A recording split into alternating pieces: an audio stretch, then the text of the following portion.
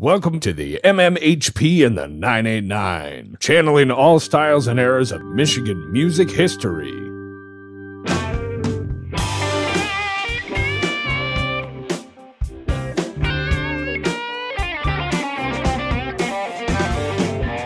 Hello, Michigan music lovers. This is Scott Baker. I want to welcome you to the Michigan Music History Podcast. I am flanked by Michigan music royalty. To the left, Dr. J. To the right, Sir Fred. We cut from just around the block of the Michigan Rock Legends Hall of Fame in Bay City, Michigan, here at Studio 163 in Essexville. And now it's time to grab a favorite beverage, hit the cruise, and take a trip back with us through Michigan's rich music history. This podcast is sponsored by our friends at Electric, Kitsch, located at 2106 Kosciuszko Avenue in Bay City, Michigan. And now, here's your host, Scott Baker. Oh, it is. Yeah, well, you know, with Clark here, this Clark will be our first guest from the UP. True. yes. Right, right. We're going to utilize that one. Oh yeah, we're Yeah. going to talk a little bit about growing up in uh, Republic. That would be- Republic. We're both from the UP. oh, really, Bobby? You're from the UP too? Bonnie. Wow. So, did you guys know each other back in the day? Well, that's where we met. Yeah. Wow. Out there. How old were you when you met? Oh, I don't know, 20? yeah. So it was after high school?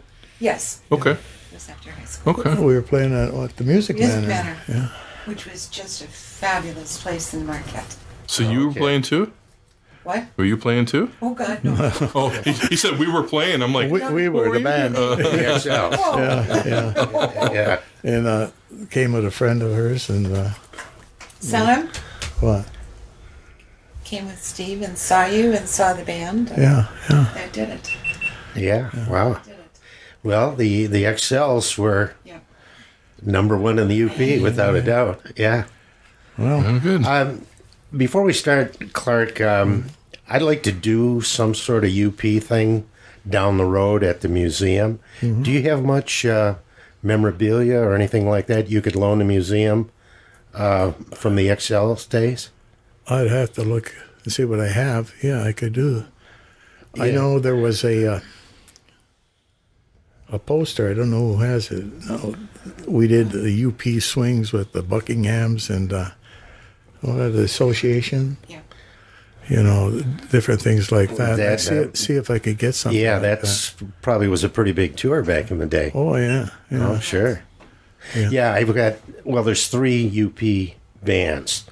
Um, the uh, Riot Squad from Escanaba. I don't know if you ever played with those guys. I know who they are. Yeah, Okay, and apparently uh, Jim Jacques has got or is trying to round up some memorabilia, and uh, I had been in contact with uh, the son of the well, uh, there's no one that's uh, no surviving members left of the Galaxies from Ironwood. Oh yeah, yeah, And, yeah. uh, that you was know- earlier than us, I think. Even the Galaxies. yeah, right. yeah, And uh, that was uh, well, they were 1950s. yeah. and uh, you know they had at least one national release, and Yeah. Jimmy Bowen produced uh, their first single anyway. so that would have been probably the first band to come out of the UP then? well, I don't With a know if national it's- hit? Well, they didn't really have a national Or hit, how you call it? but Uh, you know to have a, a recording on a national label that's Yeah. a pretty big deal. Yeah, of course, yeah. the Excels had several, uh, but um, I think, uh, in fact, the, the Galaxies. I think there was a Sullivan in that group. yes, yeah, and it's his Danny Sullivan's son. Okay. who's the one, and I think they've got some kind of. Uh, um, I'm not sure exactly where it is in Ironwood, but there's some sort of display somewhere about the galaxies. Okay. Okay. And yeah, there was a lot of support. It must have been everybody in Ironwood voted yeah. for the band Yeah, back in the back in the day there. So That's where Buddy Holly's uh, drummer ended up, Olin Hurley, after he froze his feet on that winter tour party. they came through the UP, and then uh, yeah. So Yeah, that whole thing with Ironwood and Hurley is kind of an interesting story. Oh, yeah. You know, divided by the river, Hurley's the Yeah. wild side Oh, of town, shoot. and yeah, that was up you Could there. drink at Hurley. Hmm? You could drink in Hurley. Oh, oh, okay. Not, Not the other side. nope. Yeah. Gotcha. Okay. Well, there's there's the reason for the wildness right Well, there. no, we won't. Oh, that was a wide open town. Oh, we got to go there. No, well, I don't know how it is now, but Yeah. everybody say you gotta go. You gotta go to Hurley. Hill. Yeah, well, there's a movie made, uh, a Hollywood movie that kind of dealt with uh, the early days of Hurley. I, I'm trying to think what the name of it is now. Uh, it's been so long ago since I wrote that story on the uh, the galaxies, but uh, interesting history. Well, anyways, We're we got to going. get I think we're good. I think we're going already. It's it's good. I we have a special guest, Clark Sullivan, in the house, uh, all the way from the UP. Even though he doesn't live there anymore, I imagine. Where do you live now, Clark? We live in Swartz Creek. Swartz Creek. So you made a little bit of a trek over here to Essex. Oh, thank oh you. yeah, Thank yeah, you. Yeah. Oh, wonderful. And uh, we are going live here from Studio 163 in Essexville and a little bit of a pre talk tonight because uh, we've got quite the tale here. Gary's got a, a well written history that's going to be that you'll be able to find on our on our site from his Rock and Roll uh, Hall of Fame page there. And we're going to, um, you can direct to that and you can uh, counter direct to this podcast here as well. as And uh, Clark's going to fill in all the little gaps of the history here. and uh, so between Dr. J and Sir Fred, how you doing, Sir Fred? I'm doing real good. Good. Mike Beattie's in the house. How you doing, Mike? Doing great. Thank you. Our archivist is here. Well, we're gonna um just keep the chat going. I mean, it's already Yeah. been going great. So there's Well, a, there was a I- band I- before the Excels, uh, and then Yeah, well, there's a, there are a lot of bands in the UP, but uh, I think without a doubt the Excels were the the, the one UP band that really, I think, uh, made some noise outside of the UP. and they are in the Rock Legends Hall. Oh yeah, Yeah. definitely. That's what I thought I read. So, anyways, uh, I- you know, Clark, you grew up in a, a pretty interesting town, Republic, one of the big mining towns, iron mining towns of the UP.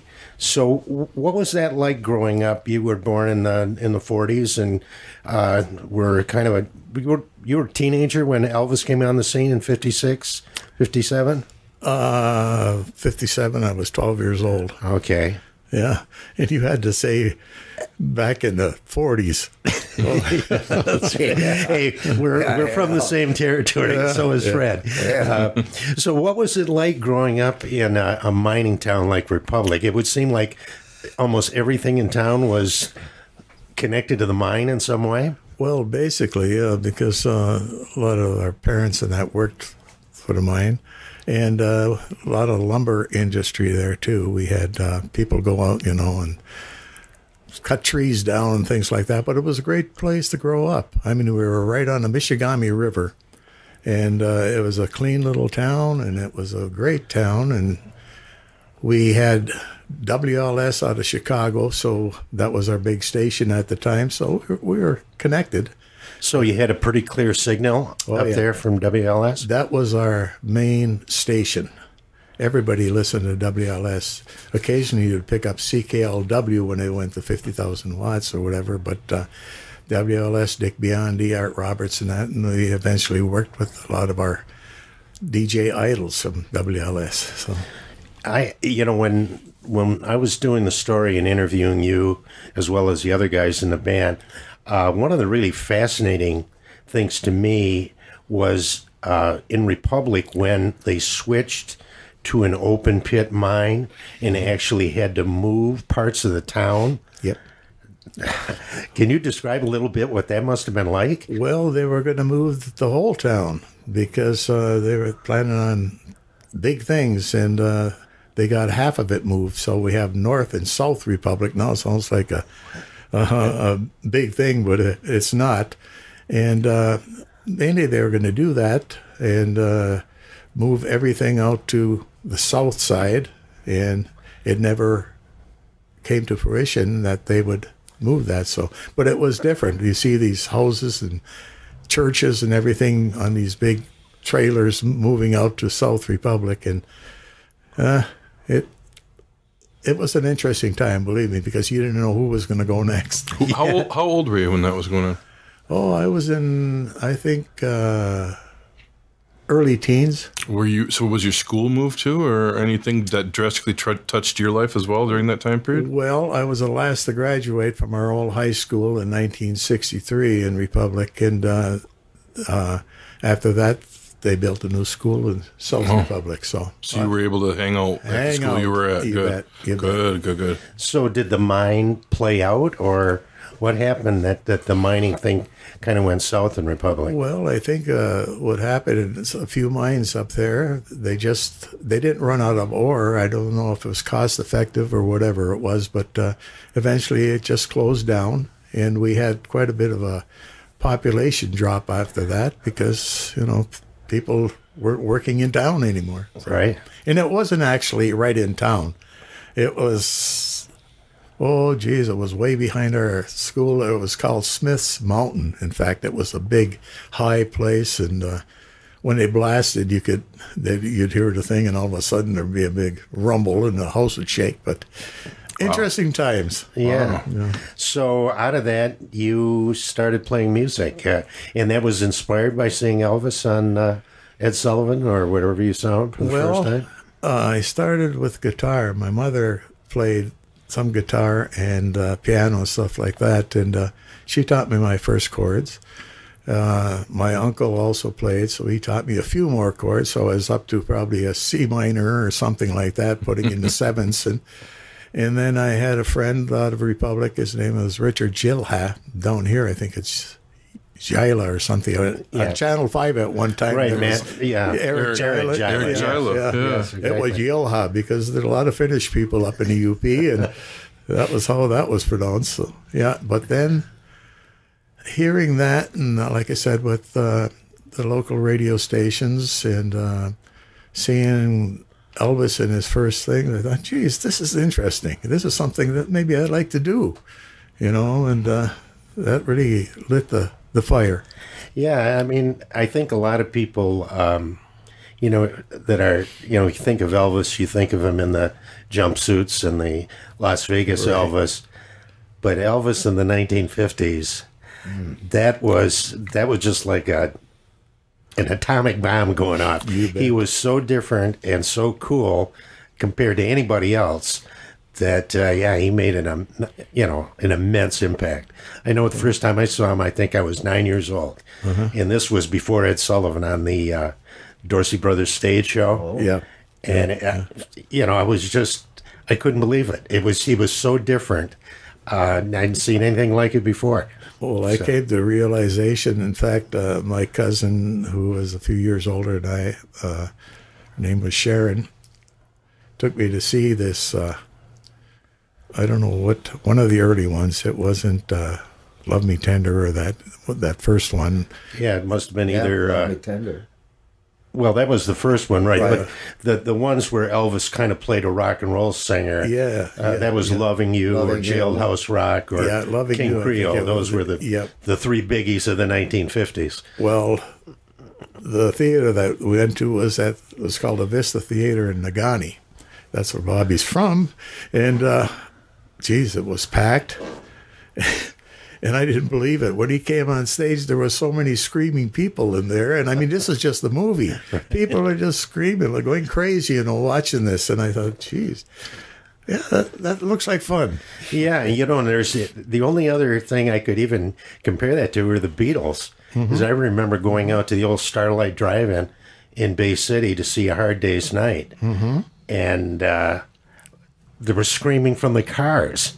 You know, when the Beatles were on the screen, you know, it was just that much of a phenomena, just like it was in Elvis in '56 or '57. Were you at a drive-in theater? Yeah. Okay, because uh, the band, the Excels, we went to see it at a drive-in theater, I think uh, Taylor, Michigan, somewhere down near Detroit.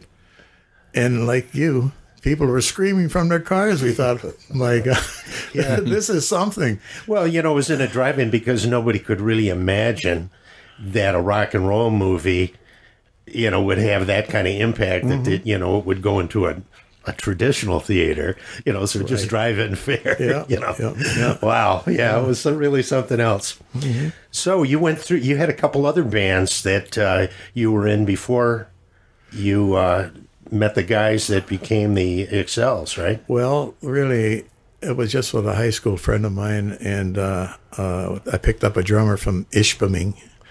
Uh, that's between uh, Republic and Negaunee up there, and uh, we formed a little trio, and we played at a few dances and had a good time, and uh, that was about it. We got our first job because my cousin, she was the head of the youth center in Republic.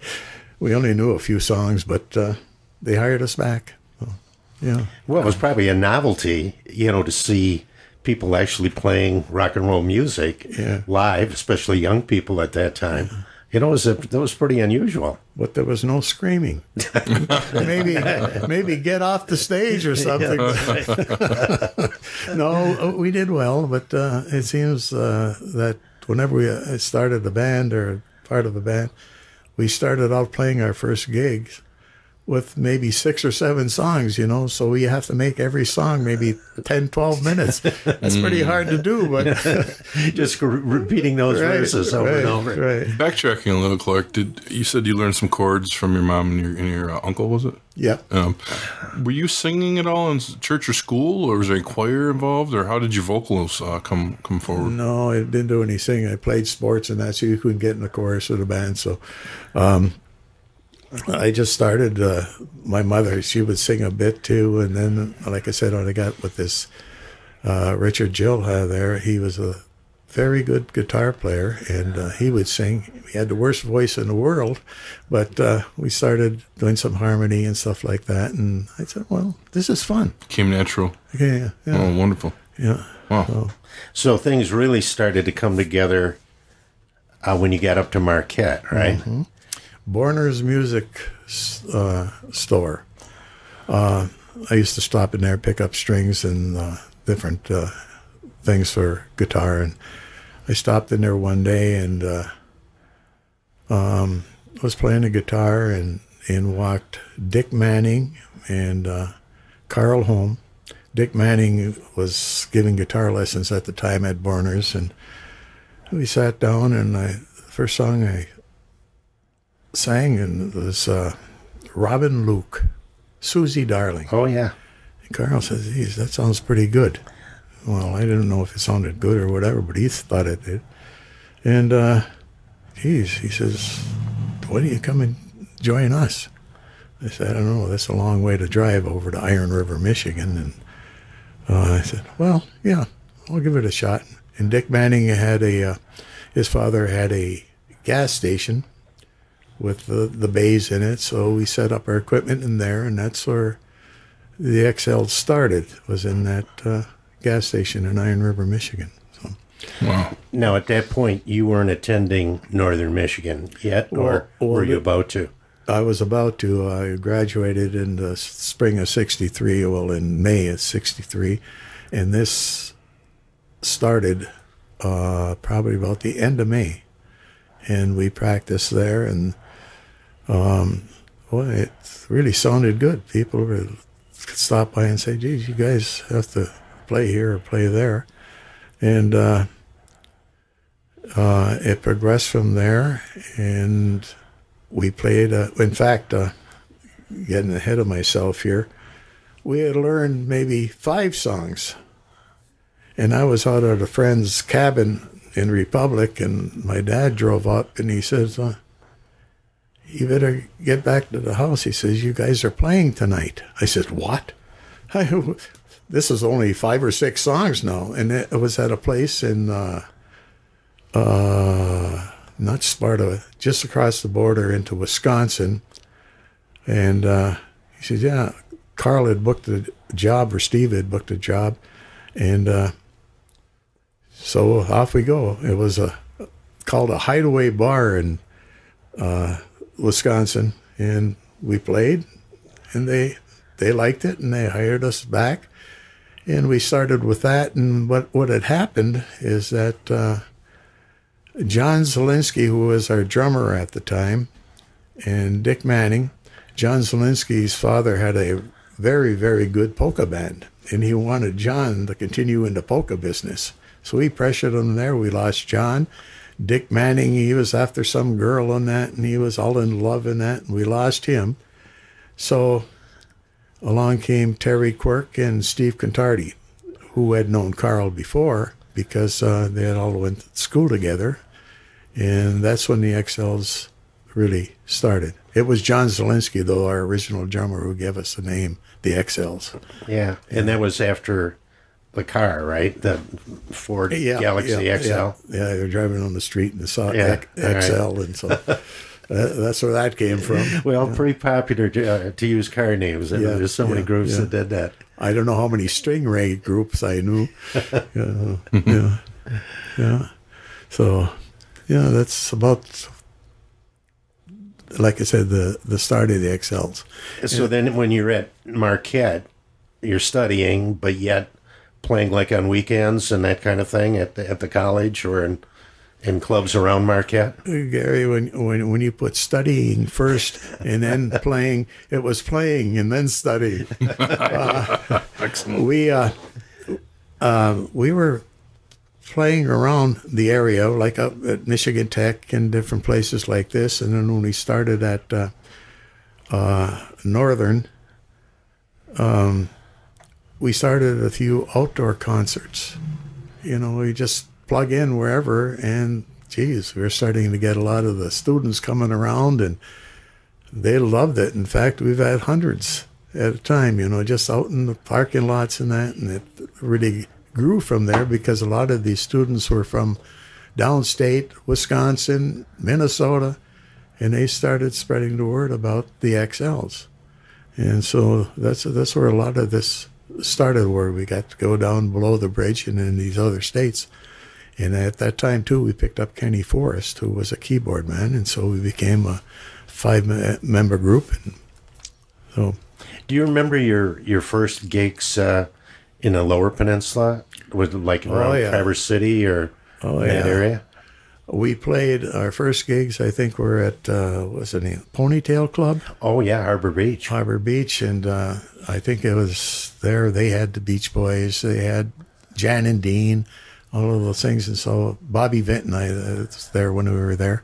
So you opened for Bobby Vinton? Well, we didn't open for him, but see, we were playing the outdoor venue, and uh, he he he didn't have any opening act. He would come on in the inside and do his show and that, and um, same with uh, Jan and Dean. That there was no opening acts. There was just two venues, the outside and inside. And in winter, we played the inside one, and so. Uh, yeah, kids from all over there. But uh, I think our biggest break uh, was when we uh, crossed the bridge.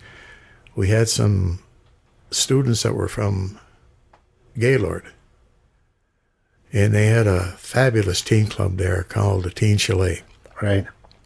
And uh, we were on our way down to Detroit, and uh, trying to you know hook up with some record stuff and that. And uh, we stopped by the Teen Chalet. All they had was uh, auditions, and that the owner's name was Dan Lewis III, and uh, he had a, a group of high school girls that were who he had auditioned for.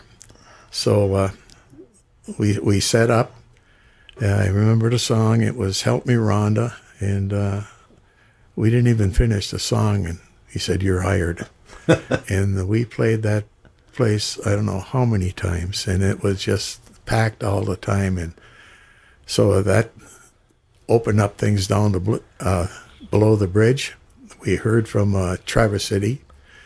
Elmer Ogden had the Tonsas, and uh, we played there so many times too. And that was back in the day when uh, Glenn Frey was had his group, the Mushrooms, and that, and you know, was just trying to make it like the rest of us. He was a little bit more successful than we were, but It took a while, though. Yeah, yeah. Well, same with Bob Seger. I mean, you know, Yeah. he, he was at it for, you know, 10 or so years before he hit it big nationally. you bet. Yeah. In yeah, fact, it's a we tough were, road to hoe. we worked with uh, Bob at uh, Rooster Tail in uh, Detroit on Jefferson, and I have never seen a more dedicated artist. I mean, he would get off the stage. We did our set. He'd do his set, then we'd do another set, and so on. And he was just sweating bullets because he, how did I do? How did I do? He was so involved with his music, and I give him credit for that. And then we'd meet up again when he'd play up at the Ton's house in Traverse City too. And so, you know, and Daniel's dead. So, Right. But, uh, well, you guys had, you know, looking at those early uh, publicity pictures, uh, you had the uh, the short sleeve striped shirts. Definitely had the Beach Boys kind of look. That's what I remember. Yeah, Daniel's and Den. right, and and you also had the the harmonies that could kind of back it up, right? well, that was, they were our idols because that's what we were looking for. There was a group, I think I told you this before, uh, still idolized them. They're called the Rhythm Rockers from the UP. And they had such great harmony and such great musicians that, geez, this is what we want because all of us love harmonies. And so, where do you go for that? You don't go to the Rolling Stones, that you go to the Beach Boys. And uh, we were able to uh, sort of put that together and do a lot of that, the Four Seasons Association and that. And that's what worked in for us. And we thought, geez, we don't want to wear suits on the stage. You know, we're not the Beatles. So that that's a different genre, you know, what we were used to. So the striped shirts and the, the white flax or whatever, you know, that worked for us. And so Yeah. people got to know us like that. Did you play with the Beach Boys? Yeah. Um, Is that the ponytail you said earlier? uh, no, I think that was that was an early in the career when they were coming through. I think that was Milwaukee, someplace in Wisconsin. You shared the stage with them, eh? Pardon? You shared the stage with them at that point? Or, did you open for them, or Yeah, well, it was you know there was like about uh, three or four bands that were on on the bill with that. And So that's that's all that. did they have anything to say to you, being that you were so much like them? No, we had to change our. We didn't. Ha- we didn't play any Beach Boy stuff. I mean, that. that I wondered was, how that- that was hard to do. Yeah. because uh, you can't go and do uh, uh, "Help Me, Rhonda" or any- well, that was before that, but uh, anything like that because, geez, Yeah, that would have been bad Yeah. form. yeah, yeah, yeah, yeah, yeah. So, but uh, yeah, all of those groups, and um, we, we are uh, pleased that we're able to get into Wisconsin and Illinois and stuff. That's drew us through there. Eventually, then we'd go to Milwaukee, and then uh, where did we play with the association? Was that Green Bay? That was Brown County Arena, wasn't it? So we'd pick up a lot of the the groups out of Wisconsin, then do the UP thing because that's uh, you know uh, a bigger venue like the Brown County Arena in uh, Green Bay was something that was huge. So yeah, Well, you made uh, you made quite a a leap, you know, to head down to Detroit in search of a a record deal, just kind of on your own, right? You didn't really have anything set up with a, with a manager or anything like that. Can you tell us a little bit? Your first stop was at Hitsville, right? right. Well, I'll say we got to Detroit and we stayed with uh, Ken Forrest's parents and that, and so we drove into Detroit. So we went to Hitsville and uh, went in, and uh, there are the Supremes.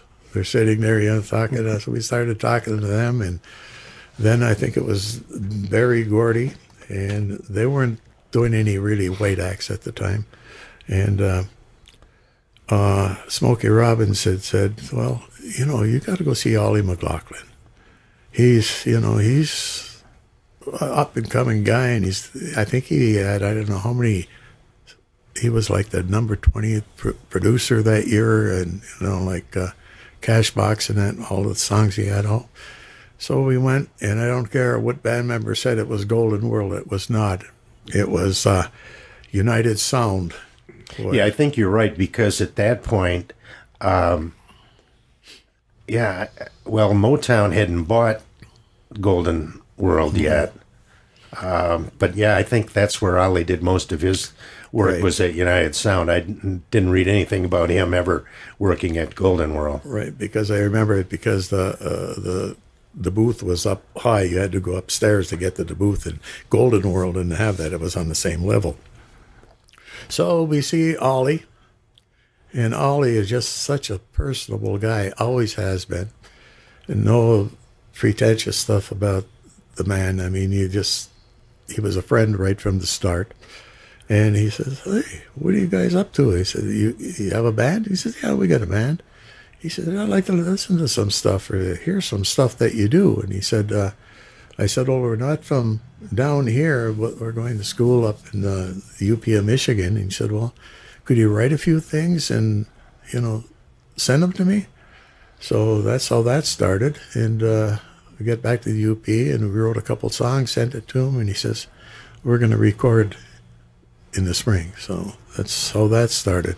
What year was that then in the spring when you started recording with Ollie? I Has it think- been 65 or 66? I think it was '65. This podcast is sponsored by our friends at Electric Kitsch, located at 2106 Kosciuszko Avenue in Bay City, Michigan. They offer new and used records, including local to Michigan original vinyl and CDs, as well as clothing, electronic equipment, funky household items, music gear, and stringed instrument repair. You can find them on the web or call 989 402 1411. Going down there, did you already have a little bit of songs written already, or do you? No. you- not at all. No. not at all. Hey? No, So we you- didn't even think of writing songs. We said we can't do that. Really? okay. I wondered about that. How that you were after a record thing when no with no songs. Okay. Yeah, no. So how did you get the songs down to him? Did you mail him like? Uh, yeah, put on a little two-track recorder, and Yeah. uh, we wrote a couple songs and sent it down. We get a call back, and he says, "Yeah, I like this,"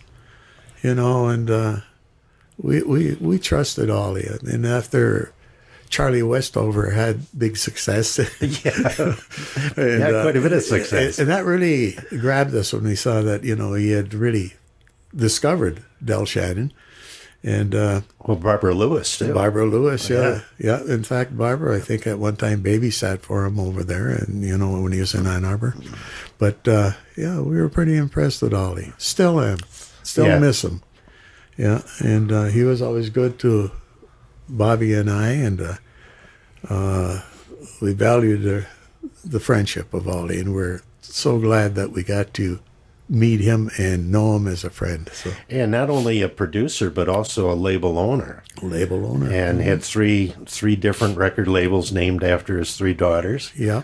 So, yeah, and you guys were on Carla, right? Yeah. I remember when we were in New York, uh, uh, Ahmet Ertegun and uh, Jerry Wexler. We went to I went to a meeting with them with Ollie, and they were pushing for us to go on the Atlantic brand on the Atco thing, and uh, Ollie says, "N- "No," he says, "I would like to keep." the label I want to build up in that. And I agreed with him, you know. I mean, if we had something that was going to be saleable, you know, um, I really trusted Ollie. But it would have probably been to our better advantage to get on that Atco or Atlantic label Oh, yeah. because uh, Atco, they had the distribution in that, but a lot of the music coming from Ollie was R&B and things like that. And we were not an R&B group, but uh, You were on an R&B label. the R&B label. Yeah. And his labels uh, distributed by Atlantic. Yes, they Yeah, were. yeah, yeah, yeah. So we had distribution there, and hindsight's always twenty twenty though. You, you at the time you believed in what you saw, Yep. and now you look back and you know why it didn't work, and you know what you could have done. But you know, Yep. you went with what you went with. You made your decision. Yeah, Ollie did break some songs nationally, but they were R and B songs. You know, Yeah. "Cool Jerk" and Cool uh, Jerk, yeah. "Love Makes the World Go Round" by Deon Jackson. But Yeah. yeah, I see your you know your point is well taken that Yeah. uh, you guys were maybe not the greatest fit for the label, uh, despite putting out some really good records. well, I tell you what, um, I have no regrets. I mean, you know, to have that experience uh, because uh, uh, maybe things would have changed, you know, with this national distribution on an Atco or Atlantic, and uh, would it would have been fine. But I, we had such a faith and such a admiration for Ollie. I have no regrets on how things had worked out. I tell you, I don't know if I could have survived. You know, by the time uh, like Little Innocent Girl came out, I think we were married then. Now we've been married for almost 54 years. I think going on the road and stuff like that, we might have had some difficulty. you Well, know? it would have been a challenge without Yeah, a doubt. yeah, Yeah, yeah. Well, plus, uh, you know, being on a big label like Atco, sometimes you get lost in the shuffle, you know, Sure, where sure. you know, at least with Ollie and on Carla, you know that you know you were getting a, a lot of attention from him, the Mm-hmm. You label bet. owner. You You, know, bet. it really took care of you guys. Yep, he sure did. Yeah. So going to the songs that you submitted that he uh, liked originally, who was the was it a group songwriting commitment or who was the main songwriters? Well, I wrote one, and uh, Terry Quirk wrote the other. I think that was uh, "Run, Girl, Run." I wrote, and he wrote a song called "It Isn't So," and uh, those were the first two. And now on those original two track things you sent to him, is there a copy of those anywhere? Well, there's a lot somewhere. They eventually got released, didn't they? Yeah, they but it was much later. Yeah. Uh, after kind of like when Carla and, and, and Ollie's labels were on the downturn. Right. They in came fact, out. in fact, the ones that we recorded on there were very rudimentary because they were there just for him to get the arranger and stuff to get them out. So they they sound very Demo-ish. Uh, yeah, yeah. It just it wasn't up to any of our. But I think Ollie at the time was searching for something that would maybe make him a few bucks and stuff like that. And Right. so they, they never got the proper arrangements of that. But writing songs, you know, I, I've written probably the majority of them in the group. Um, but it's a group effort. I mean, when you write a song, you take it to the group and you all work your parts. And so I don't take credit of being the main songwriter on anything. It's just that everybody puts, So how did you guys work your publishing out? well, Ollie had his publishing. Ollie took the publishing? Yeah, yeah, yeah. So you guys never got any saw any of the paychecks coming back from it then? No, no, no, no. But he covered everything. I mean, he would put us up in the best hotels in New York. He would, you know, all of this stuff. I mean, the music business is a cutthroat business. You all know that. Well, Ollie got involved in the publishing right off the bat with Del Shannon. Right. When right. you look at those big top singles, all of them have McLaughlin Yeah, publishing, publishing, on them. So he yeah. did very well on those. Right, right. And uh, he had brought that up when he said, "Do you want to start publishing your songs?" I says, "No way." I says, "I want everything to go through you." I mean, he might have kept every bit of money that we ever made on a record. We were just happy to make records and you know Yeah. get these gigs around and TV shows, just because of what was going on. Well, you were making pretty good money playing live. Oh yes, yes. Yeah, you probably you know made, would have made a lot more money doing live gigs than you got on on record, yeah. you know, Well, royalties and so on. Anyway, Sort of like Tommy James. yeah, he's you know with the mob and that. he- yeah. Well, he didn't get anything. Well, huh, the thing of it is too is that uh, I think Bo White told me this. Uh, he kept contracts up from Daniel's Den at his White's bar. He said, Do "You know, you were paid more. Excels were paid more than Bob Seger." well, let's look at the state of affairs now. Jeez, I thought, geez. Well, that was nice to hear. So, yeah, yeah, Wow. yeah. So It's quite quite the uh, backstory there. It's interesting how it all worked out. But you had full trust in them, And how long did you guys go on the road and put out records? Oh, geez. Well, I, I think the first record was made in '65, and uh, uh, probably through '69, and then when I left, and then I got one on my own.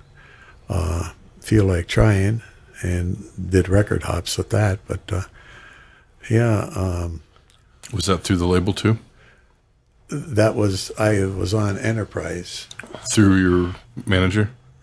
Pardon? Through your manager still? Through, Yeah, through- Ollie was still Ollie, my yeah. manager, and but Enterprise uh, that was a subsidiary of uh, Stax. Stax, Yeah, right. Stax. Oh my lord! Wow. Well, I remember, you know, the, um, because uh, um, I think Stax came out with a full page billboard ad. You know, it was in Billboard, and I was the only white guy on that whole thing. They had uh, Isaac Hayes, they had all of these things, and there's Yeah. Clark Sullivan. I thought, well, made the headlines anyway. Good Irish name there. yeah, yeah, yeah, That's awesome. Was what'd you say? Seventy one? You think? Seventy? yeah, somewhere Yeah. around there. Yeah. Wow. How is that on? Uh, it's on. It was on vinyl, obviously. Yeah. A full length album. Uh, was there any singles released off that record? No, it was just a single. Oh, it was just a single. Yeah. Oh, okay. Okay. And when I was doing that song, when, when I was doing an overdub uh, for uh, a song we were doing, it's called California on My Mind.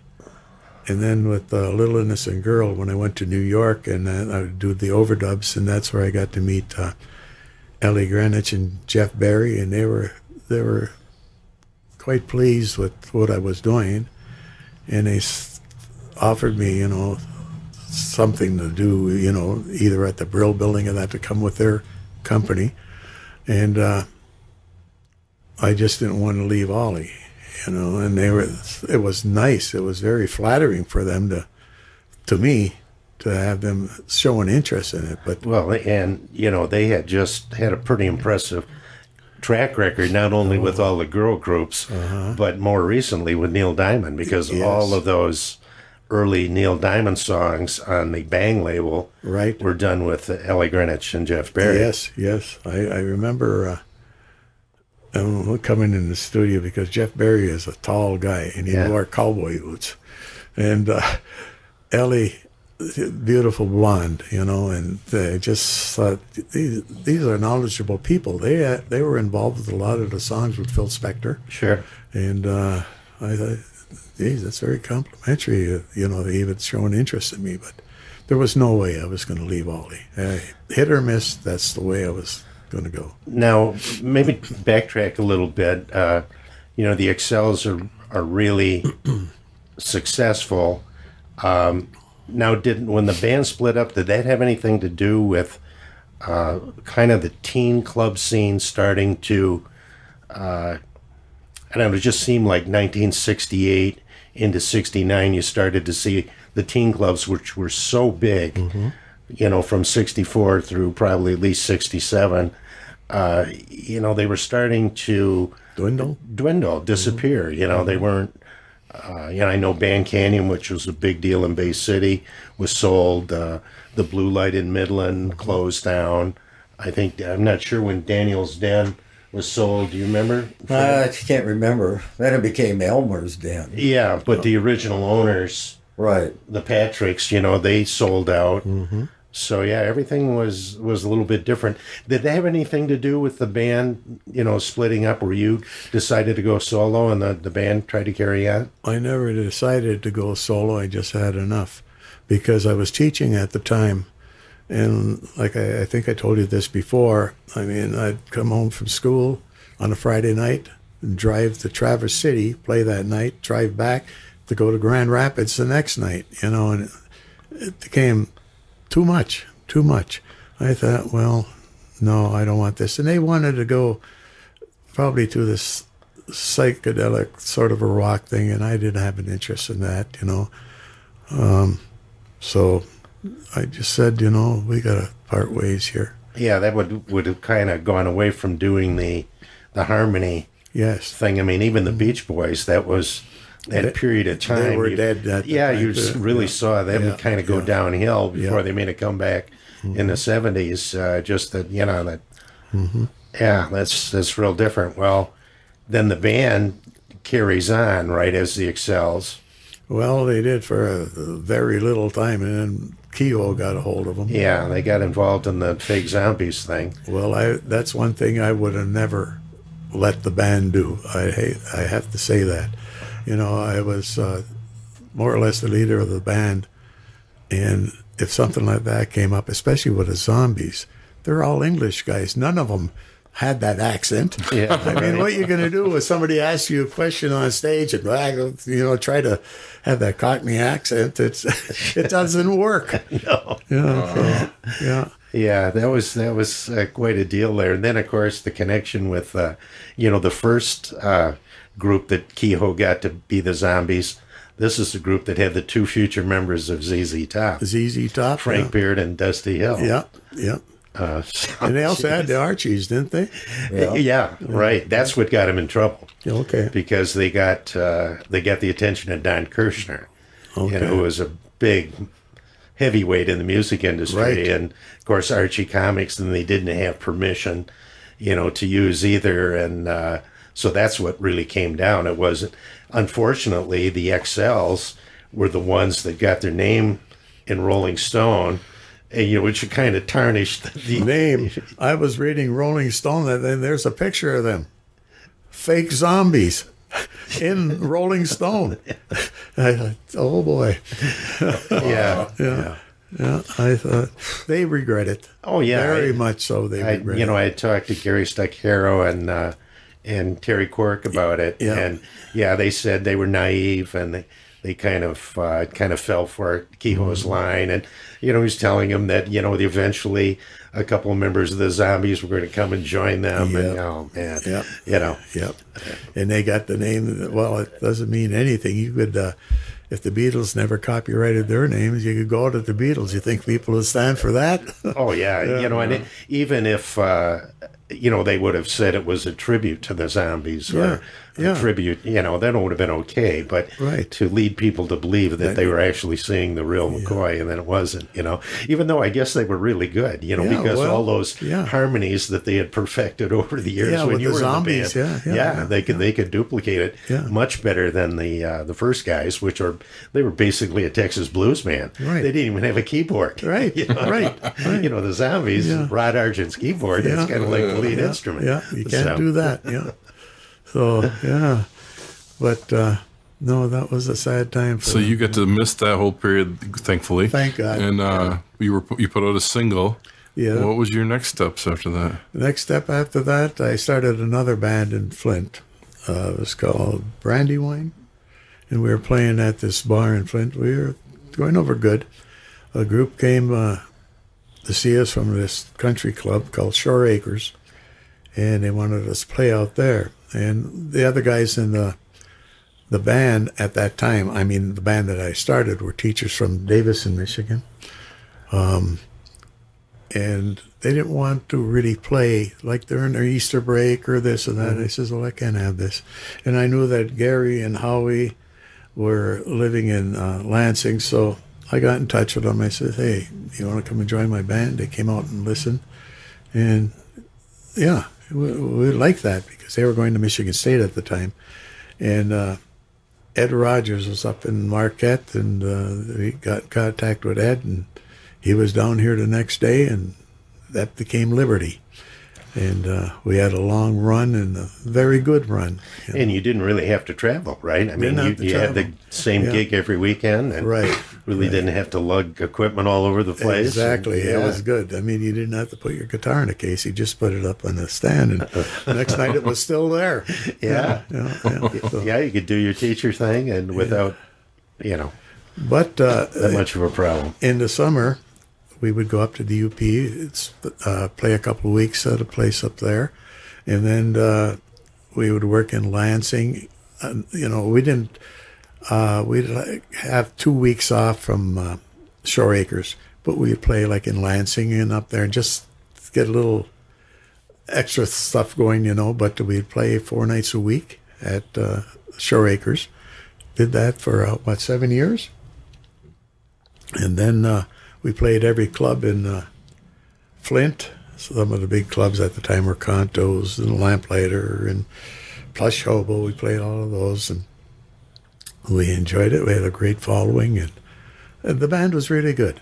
And you probably made pretty good money back in those Oh, days yes. too. Oh, yes. You know, where you know live music was a real, real big deal You bet. and paid well. Yep. Yep. Uh, Did you run into uh, Lafayette and the Sabres? I, I've met them. Yeah. Yeah, Lafayette. well, Laugh lives here in Bay City now. Okay, okay.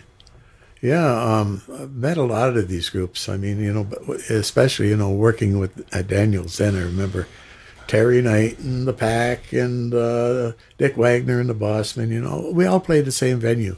Even my buddy Dick Coughlin, you know, he's that's, that's with the Cherry Slush. Yeah, Dick was here. Uh, you know, a month, well, it's a couple months ago, right? Where Dick was a guest here, talking about his days in Cherry Slush. Yeah, yeah, Yeah. So, yeah, very, very interesting times. you bet, you bet. You know, it's so great that uh, there are all these places where kids could get together and enjoy music together, and that's you know that's not available anymore. No, it's know. not. It's not. And music is not the uh, the gathering force that it was.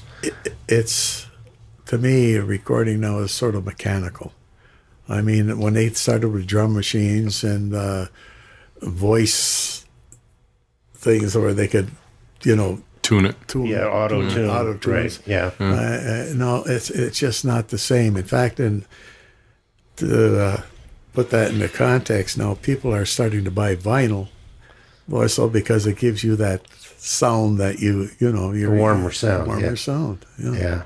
yeah. So Yeah, you don't have a place for uh, uh, young people that want to play music. You know, where do you go?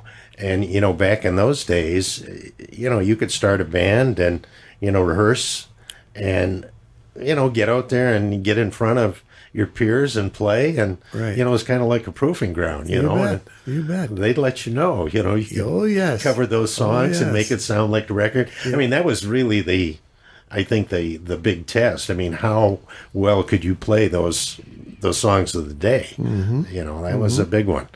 Well, it, uh, it it was really great for us. I mean, I think we played just about every venue here in Michigan on the West Coast, the East Coast, Holland, Grand Rapids, all that up and down, um, in Detroit and that. So we covered a lot of territory and met a lot of people. And you, you know, uh, um, when you get the people that appreciate the song that you're putting out, and you start, you know, the second time you play there, and you got a bigger crowd than the time before.